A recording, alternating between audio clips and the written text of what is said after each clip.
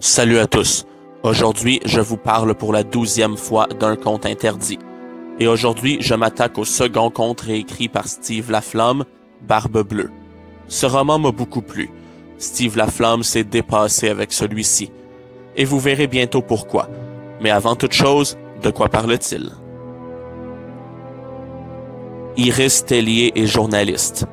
Depuis son incarcération, l'histoire de Simeon Kovac l'obsède. Simeon Kovac est un meurtrier sadique interné pour avoir violemment trucidé trois femmes ainsi que son avocat. Et, pour les besoins d'un livre choc pouvant possiblement remettre sa carrière sur les rails, Iris a l'opportunité de l'interviewer. Iris croit sincèrement être celle qui saura percer les secrets de ce meurtrier barbare dont le public ne sait que trop peu de choses. Seulement, elle est encore loin de se douter que creuser un peu trop profondément dans l'historique de Simeon Kovac puisse lui coûter aussi cher. Bon, qu'ai-je pensé de ce conte interdit? Je l'ai beaucoup aimé.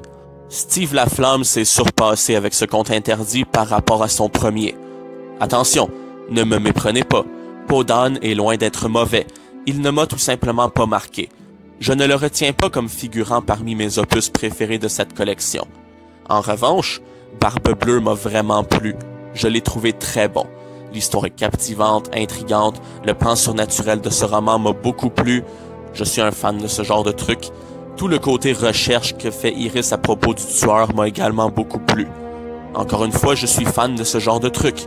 La narration, quant à elle, est bien, elle fait la job sans être particulièrement mémorable, bien que l'auteur s'autorise quelques plaisirs de mise en page, avec des mots en caractère gras disséminés dans de la documentation que découvre Iris, des messages subliminaux qui ne vous échapperont certes pas, à moins de ne vraiment pas être attentif, mais qui donnent au roman une saveur propre, nouvelle dans ce collectif. Je vous laisse découvrir tout ça par vous-même. Les personnages maintenant. Ils sont bien, pas mémorables, mais pas plats non plus. Surtout le meurtrier Simeon Kovac, qui est terriblement intrigant et qui cache moult secrets dont on se doute de la, de la nature morbide, sans pour autant se douter de toute l'ampleur, de tout ce qu'il y a derrière tout ça.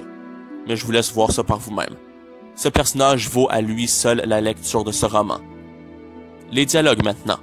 Les dialogues sont bien composés. Ils sont écrits dans un français plus international, respectueux des règles de grammaire de base, ce qui n'est pas forcément nécessaire pour des dialogues, mais pour une fois, pour une fois, quand un auteur contemporain veut le faire, il le fait bien. Je veux dire que pour une fois, les dialogues ne passent pas de français international à joual, par exemple, sans aucune transition logique ou un minimum réfléchi. C'est hors sujet, mais fallait que je le dise, ne serait-ce que pour souligner les dialogues heureusement consistants de ce roman. Les révélations parsemées tout au long de ce roman ne rendent l'histoire qu'encore plus intrigante. Cependant, la fin et tout ce qu'elle implique m'ont déçu. Ça m'a paru beaucoup trop déjà vu comme dénouement et la finale l'est encore plus. C'est dommage. La fin aurait juste pu être meilleure. En conclusion, Barbe Bleue est un très bon conte interdit, l'histoire est captivante, cet antagoniste sanguinaire est terriblement intrigant, les révélations sont surprenantes, les dialogues sont bien écrits, bien composés, la fin, malheureusement décevante, n'est toutefois pas suffisamment mauvaise pour que le roman soit entièrement jetable. Si vous aimez les contes interdits, lisez celui-ci, il vaut le coup. C'est tout pour aujourd'hui et je vous dis à la prochaine. Allez, salut!